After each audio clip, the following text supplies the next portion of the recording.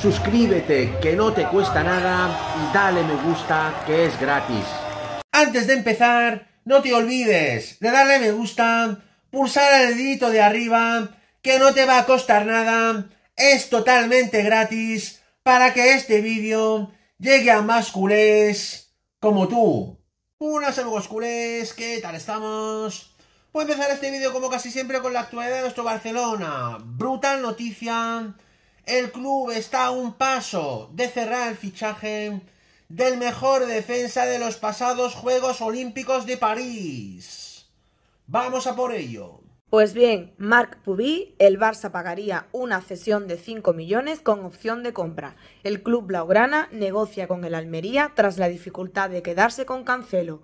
Marc Pubi gana enteros para convertirse en nuevo jugador del Barça. El lateral de la selección olímpica siempre ha sido la gran alternativa a Cancelo y el club blaugrana ha comenzado a estudiar fórmulas para ficharle y que pueda ser inscrito. La propuesta blaugrana pasaría por una cesión pagada de unos 5 millones de euros más una opción de compra por el futbolista dependiendo de su rendimiento pero prácticamente obligatoria.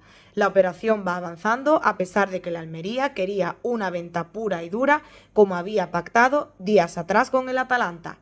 Pubí firmó por el Almería por 5 millones de euros y el Levante se quedó un 25% de una futura venta. El club andaluz recuperaría con esa cesión el dinero invertido y se sumaría una opción de compra de unos 12 millones de euros para completar ya un traspaso importante para uno de los laterales con mayor progresión del mercado. El futbolista está por la labor de cerrar el acuerdo con el club blaugrana, aunque todo dependerá ahora de los clubes.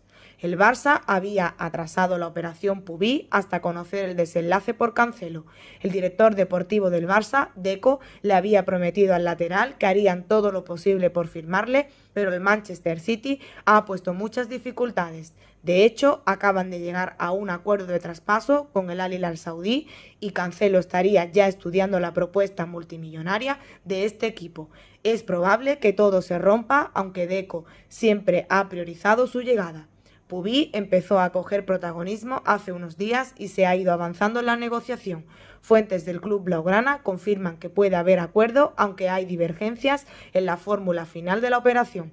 Si es esta cesión con opción no obligatoria, el Almería podría dar un brazo a torcer, ya que es una operación que como mínimo le aseguraría ingresar 5 millones a la espera de que el futbolista evolucione bien en el Camp Nou.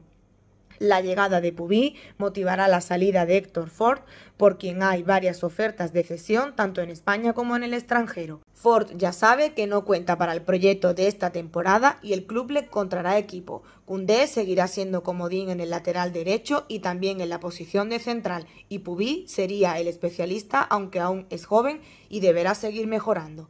El Barça cree que Pubí tiene mucho potencial físico, defiende muy bien y llega bien a línea de fondo aunque le cuesta jugar por dentro. Pese a todo, es un perfil que le gusta mucho a Deco desde el pasado verano en el que también gestionó la llegada de Iván Fresnel que acabó saliendo del Valladolid al Sporting de Lisboa.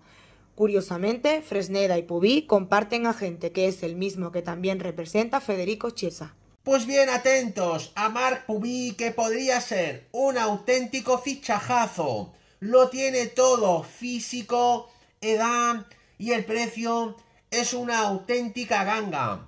Es más, el chaval no solamente puede jugar de lateral derecho, sino también de central.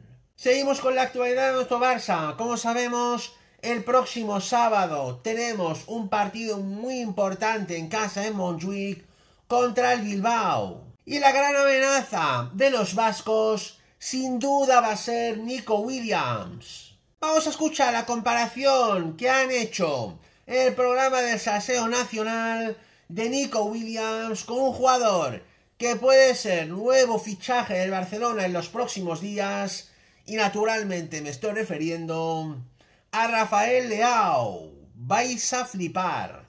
Vamos a por ello. esta temporada, a ver quién ha estado mejor. Datos muy parecidos, ¿eh? Juegan en la misma posición, eh, los dos son rápidos, son potentes. A ver. Vamos a verlo. Por ejemplo, hemos eh, sacado varios datos. Por ejemplo, 10 partidos más ha jugado Leao que Nico Williams esta temporada, 47 Leao, 37 Nico. Vamos a ver más. Total disparos, ¿vale? en la temporada 105. Rafael Leao 74, Nico Williams. Leao tiene un porcentaje de 2,23 Disparos a puerta. Disparos, eh, disparos a puerta, efectivamente. ok. 2,23. 2 de Nico Williams. Ganando- Bueno, no- va ganando Leao, vale. No se diferencia tanto, ¿eh? Ok. No, más partidos también, ellos sé. No, no, el porcentaje, no, pero el 2,23. Claro, La media. entonces cada disparos a Ahí, puerta. sería- ¿eh? ahí sí que estaríamos en. Vamos a más. Siga. Claro. Vamos. De esos disparos, tiros a puerta en total, este es el total de tiros a puerta Ahí de la temporada, ahí Paco, yo tengo 41-25. razón ahí, que ahí podría- Pero, Es verdad que también hay que decir que esto va mucho, Ahí. Claro, va, ahí- va ahí mucho en base de cómo juega el equipo también. Total, tiros a equipo puerta. Y total disparos significa disparos al tuntún. Sí, esto es total disparos, unos se van fuera, otros a puerta. Meteosat De también te 105, cuenta. de Claro, 105 los que de Leao. Meteosat también vale. De 100, sí, de 105 de Leao, 41 van a puerta. De 74 de Nico, 25 van a puerta. En porcentaje, ¿cuánto es esto? Habría, no has hecho el cálculo, ¿no? La regla de... No, bueno, de todo. 41, bueno, 2,23 van a casi. puerta. 40%. Ah, y el otro, aportar un 33%, 33% tiene Nico, 16%, ¿no? está un poquito más alto. Leo. Leao bastante más. Eh, un poquito, sí. Vamos a. a puerta tiene un 33% Nico, Tiene un que 30, está muy bien. 33% tiene Nico. Y, pero en cambio, y 40% tiene Leao. Sí, Leao, eso es. Más o menos. Vale. Pero, eh, Sí, sí. 7% más. Milan Athletic de Bilbao. Milan Athletic Bilbao. No, pero el que tiene es un jugador, una pierna. Ya, ya, Sí, pero. se ha fastidiado, pero lo que está diciendo Nico es que, joder, no juega lo mismo en el área del contrario el Milan que el Athletic. Es Kim, ¿no? O sea, ¿qué he dicho? No, sí, sí. Nico, has dicho Nico. has dicho Venga, vamos a más. Que aquí, después de tanto disparo, vamos a ver cuántos goles. Pues esta temporada, 15 de Leao, 8 de Nico Williams. Leao marca un gol cada 237 minutos. Cada tres partidos y... Eh, Nico Williams cada 341 minutos.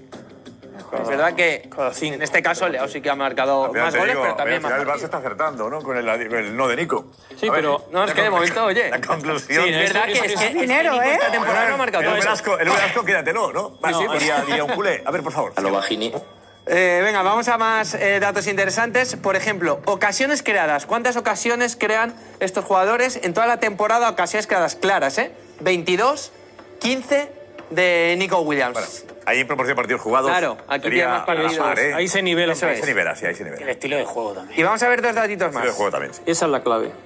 Conversión de ocasiones. Este, eh, estas ocasiones claras, ¿cuándo las convierte? El 41% de estas ocasiones, eh, Rafael Leao las, las, eh, las convierte. Sí, las- 36% Nico Williams.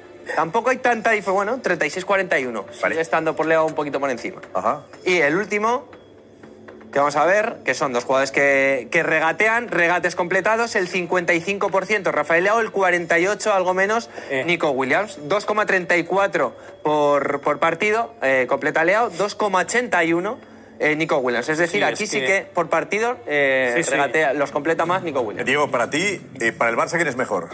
Yo creo que ahora mismo Leao. Leao es mejor que Ahora, Nico Williams. ahora mismo, porque aquí estamos comparando y estamos viendo que hay muy poca diferencia y hay cuatro años de diferencia. Claro. Estamos hablando de un Leao que Ahí ha jugado está. competición europea, que ha jugado Champions, que ha jugado eh, eh, competiciones importantes en un equipo que está obligado a ganar, que ha ganado una liga italiana con el Milan y estamos hablando de un Nico Williams que está en clara progresión. Ahora mismo, a día de hoy, me parece que Rafael Leao es un futbolista más hecho, que tiene que crecer para llegar a ser uno de los mejores del mundo y para estar a la altura del, del gran Barça que quieren ser, pero Nico Williams tiene un techo que desconocemos a día de hoy. Ahora mismo me quedo con Rafael Leao.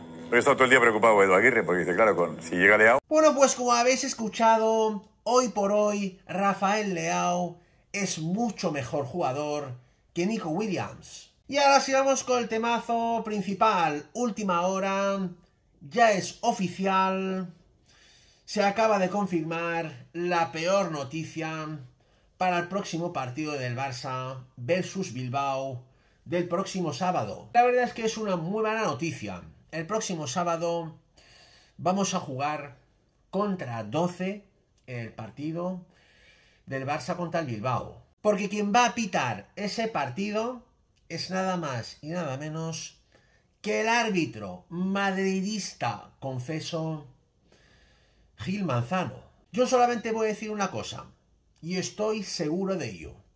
Para que nuestro Barça pueda ganar esta liga, va a tener que luchar contra todo y contra todos. Ahí lo dejo.